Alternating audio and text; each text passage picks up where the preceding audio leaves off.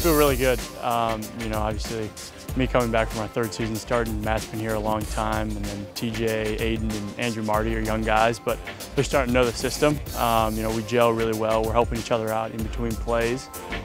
Nice. Nice job, Aidan. Marty!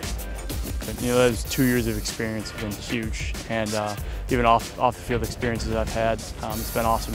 Just growing as a leader, growing as a quarterback. Just take, hey, take a breath and move on. We got a new period, new plays, everything. All right, just take it one play at a time. Feel more confident than ever heading into this year, and I'm excited.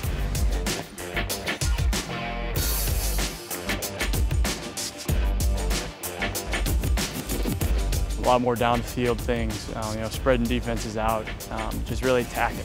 We're going to be a more explosive offense. We got a lot of great receivers, um, obviously a whole herd of running backs. So, really explosive offense, hopefully score a lot of points, um, win a lot of games.